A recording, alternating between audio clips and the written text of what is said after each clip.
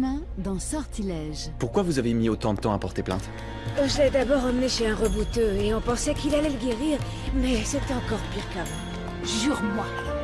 Jure-moi que personne ne saura que je suis enceinte. Très bien, je te le jure. J'ai besoin que vous me fassiez une liste de toutes les personnes qui sont entrées et sorties de la maison le mardi 7. Je n'aime pas comment tu dragues les hommes. Qui j'ai dragué? Bruno et aussi Roberto. Mais c'est pas vrai Je ne sais pas où tu as appris ces mauvaises habitudes, mais ici tu vas les perdre. T'es un vieux garçon Qui lui a donné la clé de l'hôtel?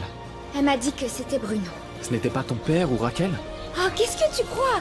C'était lui, je suis vraiment sûre. Je t'ai raconté qu'Alex a viré de la maison Maria José et toute sa famille Non Et pourquoi il a pris cette décision?